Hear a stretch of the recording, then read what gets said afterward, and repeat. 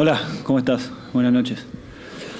a ver, creo que para nosotros eh, el partido de hoy era, era muy importante.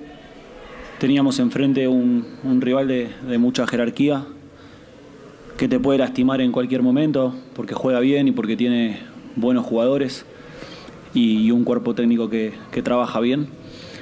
Entonces, bueno, veníamos de, perder también un partido importante y sabíamos que hoy eh, teníamos que, que, volver al triunfo ante un gran rival en un gran estadio eh, para, para poder seguir de cerca nuestros objetivos. Creo que hoy dimos, dimos un gran paso a, ese, a esos objetivos ¿Qué son eso que vos estás diciendo, no? Seguir construyendo el equipo, seguir eh, eh, afianzándonos. Creo que los, triunfos y las formas de los triunfos eh, solidifican un, proceso. Y bueno, creo que, los jugadores hoy demostraron que, que son un, un gran equipo. Armando Melgar, por favor. Por aquí, Martín, ¿cómo estás? Buenas noches, Armando Melgar de Fox Deportes. Voy a insistir un poquito con la pregunta de mi compañero David. Más allá del resultado, que evidentemente es la victoria, ¿era para ti más importante que se diera de esta forma tan contundente? Tú bien lo dijiste, jugaron contra un equipo que lo venía haciendo bien, también venía con una autoestima bastante elevada, prácticamente lo borraron en todos los sectores de la cancha. ¿Era para ti muy importante que la victoria fuera así de clara, así de contundente, sobre todo después de lo que pasó hace ocho días. Gracias. Hola, ¿qué tal? Buenas noches. Creo que al final las formas siempre son importantes. Eh, porque lo dije la semana pasada cuando me senté en esta misma silla y habíamos perdido y, dije que estos jugadores me, representaban. Entonces, eh, más allá del resultado, ¿sí? es muy importante que seamos nosotros dentro, dentro del campo de juego. Y bueno, después, y hoy una vez más fuimos nosotros y después eh, se puede dar un marcador de, de, cualquier forma, incluso empatar o perder el partido. Pero para mí las formas o el cómo lo hacemos es importante porque entrenamos para, para eso. Adelante, Juan Guzmán, por favor. Hola Martín, ¿cómo estás? Juan Guzmán de W Deportes. Yo quiero preguntarte por un jugador y por un tema de tu sistema que practicas mucho a la defensiva. El jugador es Gonzalo Piovi. Cuando recién llegó, comete a lo mejor un error contra Pachuca y que se le empieza a señalar, pero después despega y es uno de los jugadores favoritos hoy en día de la afición. ¿Qué te parece su desempeño? Y a esto ligado, eh, nos comentabas un poco lo que trabajas, el tema del fuera de juego. Se le anularon cuatro goles al América en el partido pasado, hoy dos a las Chivas. Eh, ¿Realmente es algo que tú priorizas, eso de a lo mejor jugar un poquito al límite, pero para poder eh, arriesgar un poco más? ¿Qué tal? Buenas noches. bueno, con relación a, a Gonzalo es lo mismo que dije después del partido contra Pachuca.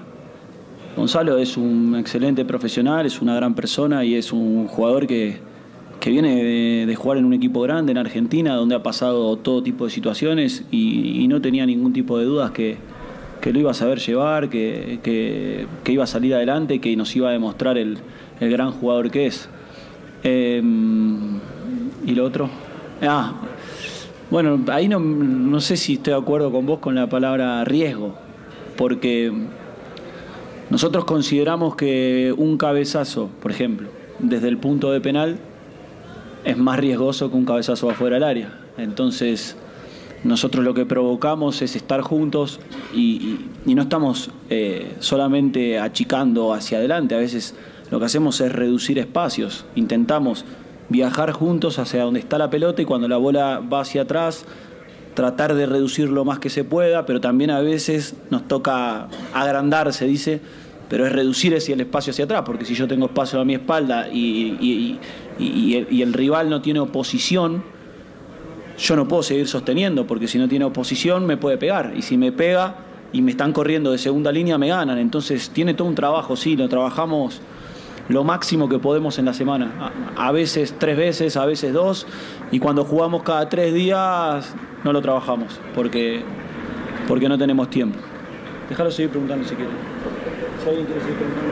Adelante, por favor, acá al frente. ¿Qué tal, profesor? Buenas noches. Jaime Ugarte, del periódico Reforma. Eh, hoy otra vez Cruz Azul volvió a imponer su estilo de juego, volvió a jugar lo que quiso casi en todo el partido, igual que en las seis victorias consecutivas. Eh, la pregunta es si para usted ya se alcanzó o se está alcanzando el techo futbolístico que se pensaba al inicio del torneo, con este juego de posesión que le gusta, que ha contagiado a la afición, o todavía tiene pues todavía más, pues, más oportunidades de seguir creciendo y mejorando. Hola, buenas noches. No, margen de mejora hay siempre. Siempre. A mí me gusta que, que el jugador eh, compita, ¿no? Y competir es eh, llevar a cabo lo que te está pidiendo el juego. Por ejemplo, en el gol de, que Sepu va al espacio, eh, no había ventajas de hombre libre y había ventajas de espacio. Y, y Nacho Rivero juega la bola al espacio y eso es tan válido o lo celebro tanto como el segundo gol que nos tocó ir avanzando juntos, porque al final estamos interpretando y estamos siendo competitivos. Y, y- y creo que siempre hay, hay margen de mejora. Sí, como he dicho ya, eh, el nivel de adquisición que tienen los jugadores en el tiempo que llevamos trabajando realmente es para, para aplaudirlos a ellos, porque, porque el trabajo es de ellos. Adelante, Adrián Esparza, por favor. Por aquí, profesor Adrián Esparzoto de TUDN.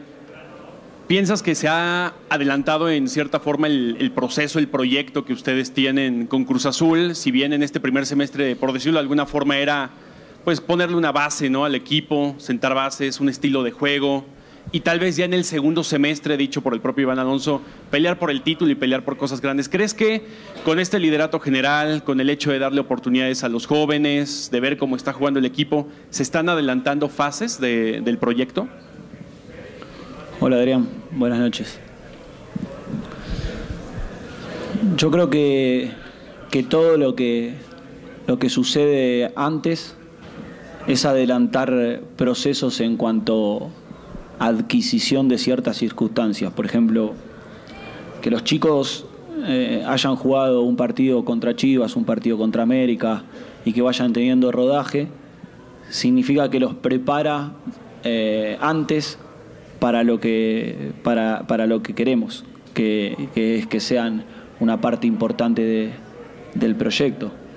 Después, eh, a nivel de juego, como dije en la, en la pregunta anterior, estoy gratamente agradecido y sorprendido también porque no lo digo por, por porque he, iniciado muchos procesos y el nivel de adquisición que, que- que está teniendo este plantel eh, no me ha tocado eh, en otros lugares. Eh, en Independiente del Valle, por ahí en, nuestro segundo ciclo, el primero mío como entrenador era más simple porque había muchos jugadores que ya, ya habíamos entrenado.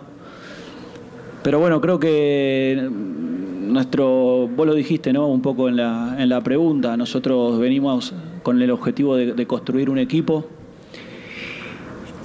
Como he dicho en otra oportunidad, ser un equipo es estar juntos, es eh, estar al servicio del equipo, es hacer lo que no me convenga, pero que le haga bien al equipo, es eh, sostener en las buenas, sostener en las malas, es competir, es alentarse, es apoyarse y bueno, eso creo que lo hemos logrado, ese objetivo está cumplido, sí. Después, eh, el resto, si bien es cierto que, nosotros decidimos armar una plantilla donde haya mucha competencia, donde haya chicos, donde, vayamos transcurriendo un primer semestre en el, que nos vayamos dando cuenta eh, cuáles son las necesidades de- de- del plantel y, por ahí en el mercado de pases de, mitad de año retocar y salir a buscar eh, lo, lo que se necesite. Eh, la parte futbolística creo que, que, sí se ha acelerado ese proceso. Después, como digo siempre, nosotros eh, estamos para competir. Cuando estás arriba tenés que redoblar el esfuerzo porque todos te quieren ganar, porque todos dan un plus contra vos y eso lo tenemos que asumir. Esa es una responsabilidad que, nos toca asumir.